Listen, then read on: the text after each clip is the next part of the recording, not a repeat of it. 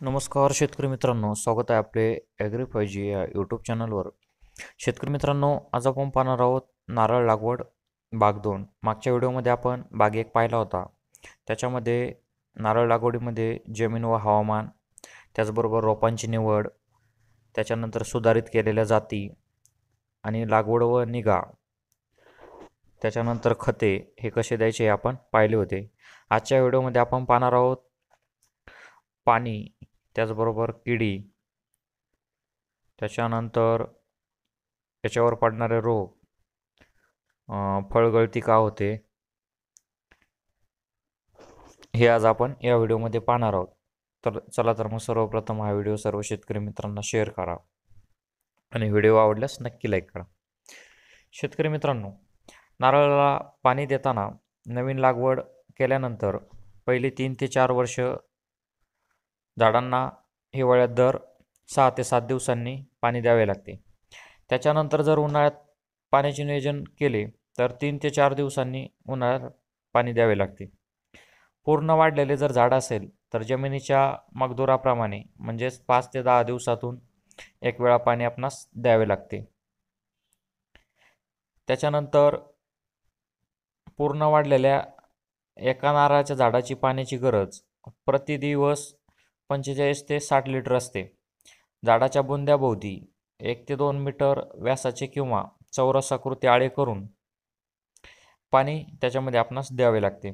जर आपणाकडे ठिबक सिंचन असेल तर पाणी देताना नारळाच्या प्रत्येक मोठ्या झाडास ठिबक सिंचनाद्वारे ऑक्टोबर ते जानेवारीमध्ये प्रतिदिन तीस ते चाळीस लिटर पाणी हे द्यावे लागते.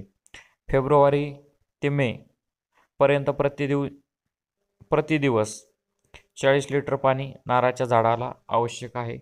ते आपणास खोडापासून एक सव्वा मीटर अंतरावर गोलाकार लॅटरल पाईप टाकून सहा ड्रिपरच्या साह्याने द्यावे लागते. प्रत्येक झाडाभोवती वाळलेल्या गवताचे पंधरा सेंटीमीटर जाडीचे आच्छादन किंवा काळ्या प्लॅस्टिक कपड्याचे आच्छादन हे करायला पाहिजे. अनियमित अगर कमी प्रमाणात पाणी दिल्यास त्याचा नारळाच्या झाडावर व वाढीवर त्याचप्रमाणे उत्पन्नावर खूप मोठा असा परिणाम होत असतो. याच्यात आंतर व मिश्र पिके जर आपणास करायची असतील तर लागवडीनंतर नारळाच्या बागेत सुरुवातीची तीन वर्ष आपण पपया केळी अननस सुरान त्याचबरोबर रताळी व इतर भाजीपाला आणि पांढरी रिली निशिगंधा झेंडू अशी फुलपिके घेऊ शकता. त्याच्यानंतर जर झाड पूर्ण वाढल्यानंतर सात ते आठ वर्षापासून बागेत आपण मसाल्याची पिके घेऊ शकता. त्याच्यामध्ये लवंग असेल जायफळ असेल दालचिनी केळी हळद अननस इत्यादी पिके आपण याच्यामध्ये घेऊ शकता. मात्र अशा मित्र व आंतरपिकांना आवश्यक ती खते व पाणी झाडांना दिल्या जाणारा खत व पाण्याव्यतिरिक्त जादा देणे आवश्यकता आहे. त्यामुळे झाडाच्या वाढीवर व उत्पन्नावर कोणताही अनिष्ट परिणाम होत नसतो. लागवडीच्या सुरुवातीपासूनच अतिरिक्त उत्पन्न मिळवता येईल व आंतरमिश्र पिकाच्या लागवडीमुळे नारळाच्या उत्पन्नातही तीस ते नव्वद टक्क्यापर्यंत वाढ होऊन जाईल. याच्यामध्ये जर किडी पाहिल्या तर गेंड्या मुंगा आहे. हा काय करतो? या किडीचा भुंगा शेंड्यामध्ये येणारा नवीन कोंब खातो. अशा किडग्रस्त माडांच्या शेंड्याजवळ भोके पडलेली दिसतात व नवीन येणारी पाने त्रिकोणी कापल्यासारखी आपणास दिसतात. या भुंग्याची पैदास शेणखताच्या खड्ड्यामध्ये होत असते. बागेजवळ शेणखताचे खड्डे जर असतील तर अशा खड्ड्यात दर दोन तीन महिन्यांनी पाण्यात विरघळणाऱ्या काराबालील पावडरचे दहा लिटर प्रमाणात वीस ग्रॅम मिश्रण तयार करून हे फवारावे लागते. उपद्रव झालेल्या नारळाच्या झाडांना नवीन सुईतून तारेच्या होकाने बुंगे बाहेर काढून नष्ट करावे लागतात. सुमारे पंचवीस ग्रॅम दहा टक्के कारभारील बुरटी किंवा दोन टक्के मिथिल. पॅराथिऑन बुकटी आपणास काय करायची आहे? याच्यामध्ये एकास एक प्रमाण केलेले मिश्रण हे त्या छिद्र पडलेल्या जागेमध्ये भरायचे आहे. त्यामुळे काय होईल? कीड कमी होण्यास मदत होईल. तर मित्रांनो यासाठी एक सोपा उपाय आहे. बागेत आपण झिरो पॉईंट सहा झिरो पॉईंट सहा झिरो पॉईंट सहा असे म्हणजे सहा बाय सहा बाय मीटरच्या आकाराचे प्रति हेक्टरी दहा खड्डे ठिकठिकाणी खोदायचे आहेत. त्याच्यामध्ये शेणखत भरावे व या शेणखतात दोन टक्के मिथीन पॅराथिऑन बुकटी मिसळून किंवा या खड्ड्यात पाण्यात मिसळणाऱ्या पन्नास टक्के कार्बरिल पावडरचे झिरो पॉईंट एक टक्के तीव्रतेचे द्रावण फवारायचे आहे. यामुळे या खड्ड्यातील शेणखतात मादी भुंग्यांनी घातलेल्या अंड्यातून बाहेर येणाऱ्या आळ्यांचा नाश होईल तसेच बॅक्युलर विषाणूग्रस्त भुंगे तीस ते पस्तीस प्रति हेक्टर या प्रमाणात बागेत सोडावेत. त्याच्यानंतर जर पाहिलं तर सोंड्या भुंगा आहे. या किडीच्या आळ्या काय करतात? नारळाच्या खोडातील मऊ गाभा खातात व खोड आतून पोखरतात. त्यामुळे काय होतं? आळ्या खोडाच्या आत असल्याने प्रादुर्भाव झाल्याचे बाहेरून ओळखता येत नाही. प्रादुर्भाव झालेल्या बुंद्यावर भोके पाडतात. व त्यातून ताजा भुसा व तांबूस पिरसराव व्हायला लागतो. मुंग्याने पडलेली भोके दहा टक्के कारभारील बुकटी व वाळूने बुजून घ्यावीत. असे केले जर आपण तर प्रादुर्भाव टाळू शकता. त्याच्यानंतर जर पाहिलं तर उंदीर. उंदीर काय करतात? कोळी फळे पोखरतात व त्यामुळे झाडांची फळगळ होते.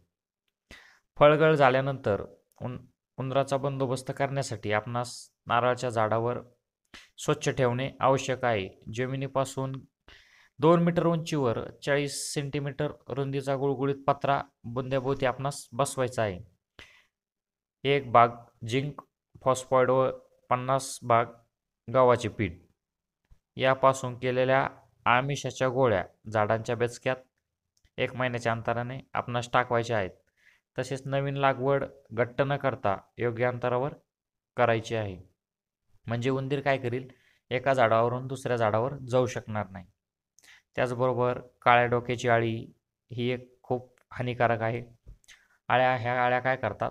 पानाच्या खालच्या भागावर जाळी तयार करतात व पानातील हरितद्रव्ये खातात. त्यामुळे पाने करपल्यासारखी दिसतात. या किडीचा जर बंदोबस्त आपणास पूर्णपणे करायचा असेल तर वीस ग्रॅम कारभारील पन्नास टक्के पाण्यात मिसळणारी बुकटी किंवा सोळा मिलीलिटर डायमेथपोस्ट तीस टक्के प्रवाही किंवा दहा मिली डी डी फिफी त्याचबरोबर शहात्तर टक्के प्रवाही दहा लिटर पाण्यामध्ये मिसळून फवारायचं आहे. फवारणी झाल्यानंतर काय होईल? उपद्रव प्राथमिक स्वरूपाचा जर असेल तर किडलेली पाणी काढून त्यांचा नाश केल्यास किडीचा प्रसार हे आपणास थांबवता येतो. त्याच्यानंतर जर कीड पाहिली तर ती आहे इरोफाईड कोळी. ही कीड काय करते? अतिशय सूक्ष्म असून देठाखालील आवरणाच्या आत असते ती त्या भागातून रस शोषण करते. ही एक रस शोषक कीड आहे. त्याचा परिणाम असा होतो मित्रांनो जे काही देठाच्या खालच्या भागात तांबूस चट्टे दिसतात नंतर हे चट्टे वाढत जातात. त्याचा आकार त्रिकोणी बनतो.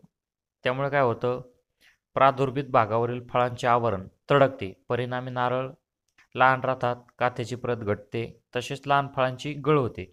या किडीच्या नियंत्रणासाठी पाच टक्के आपणास नेमॅजॉल सात पॉईंट पाच मिलीलिटर किंवा एकोनिम प्लस असेल दहा मिली घ्यायचं आहे.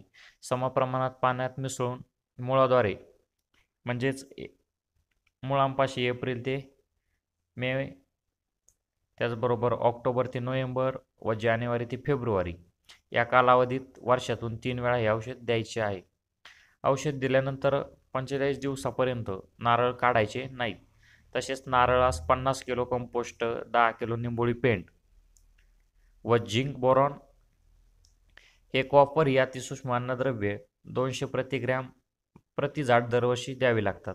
याशिवाय नारळावर एक टक्का निमजॉल दहा हजार पी पी एम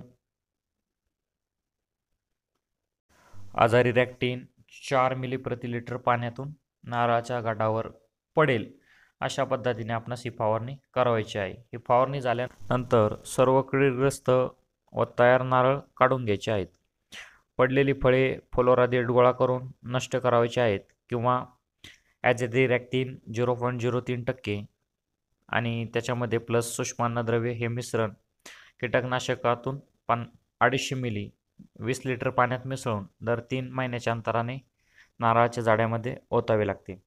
शेतकरी मित्रांनो याच्यानंतर आपण बागतीन पाहणार आहोत. याच्यामध्ये फक्त नारळावरील रोग आपण सविस्तर पाहणार आहोत. तरी जरी आपणास हा व्हिडिओ आवडला असेल तर व्हिडिओला लाईक करा आणि चॅनलला सबस्क्राईब करायला विसरू नका. आणि जे काही आपले प्रश्न असतील नारळ लागवडीविषयी किंवा किडींविषयी जमीन निवडाविषयी ते खाली कमेंट बॉक्समध्ये कमेंट करा. आपल्या प्रश्नांची उत्तरे सोडवण्याचा आम्ही नक्कीच प्रयत्न करू. त्याचबरोबर हा व्हिडिओ सर्व शेतकरी मित्रांना शेअर करा. नाही नारळ लागवड करताना कुठल्याही प्रकारची अडचण येणार नाही.